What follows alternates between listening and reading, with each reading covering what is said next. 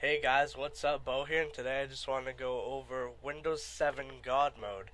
Now, what Windows 7 God Mode is, it's basically just a bunch of control panel options for Windows, and um, it's really useful, and it's it's a really nice uh, little tweak to have, if uh, that's what you want to call it. But anyway, if you want to know how to get God Mode, it's really easy. You just uh, make a new folder right here and you put in this code.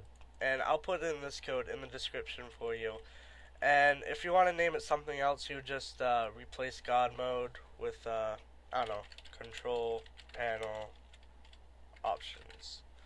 And there you go. Um, and it's the same exact thing as God mode, as you see here. So uh, it doesn't change at all. It, uh, it's the same exact features. Now, a warning people say that if you have 64-bit like me, um, if you run this, certain things that you run can crash your computer. I haven't had any problem with it so far, so I don't see why you should either. But you should still, you know, be cautious and do some research on uh, what you should look out for. Now, um, I hope you guys are careful with this. Have fun. Bye.